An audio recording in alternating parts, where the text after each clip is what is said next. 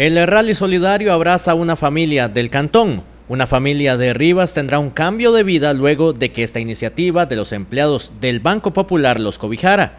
El Rally Naranja de hace algunos días se convirtió en el Rally Solidario, que une a las personas de esta entidad bancaria con una noble causa.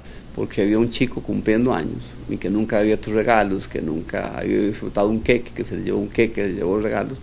Este, en la foto y lo más felices somos los compañeros y compañeras del banco que están dando, o que estamos participando en esto. La familia que está casi asustada porque nunca ha recibido esto. Entonces yo creo que a quienes estamos tocando eh, son ellos a nosotros. Pero sí nos interesa mucho, ya comenzamos, queremos transformar esa vivienda, queremos darle una condición diferente a esa familia.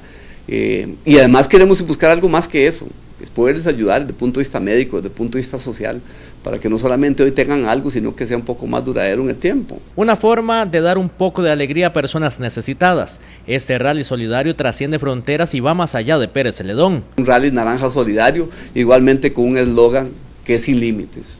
¿Por qué sin límites? Bueno, porque ya no salimos del plano estrictamente de negocio, estrictamente de, servicio al cliente. Hoy estamos pensando en el tema social, en un enfoque, yo le llamaría práctico, de, tema de economía social, ¿verdad? Porque lo estamos aplicando los y las trabajadoras de estos centros de negocios.